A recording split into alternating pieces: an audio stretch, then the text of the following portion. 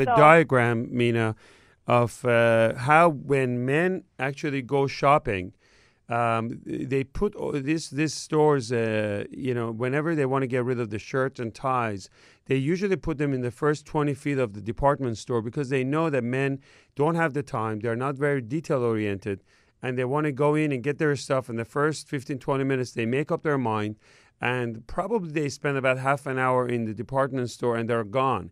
Whereas when women go shopping, they start running around for three, four hours. They may try everything that's in the department store and they spend a lot more money and they spend a lot more time and they're more detail oriented. And that same thought and same thinking plays a big role in when they choose their doctors, when they go for medical screening.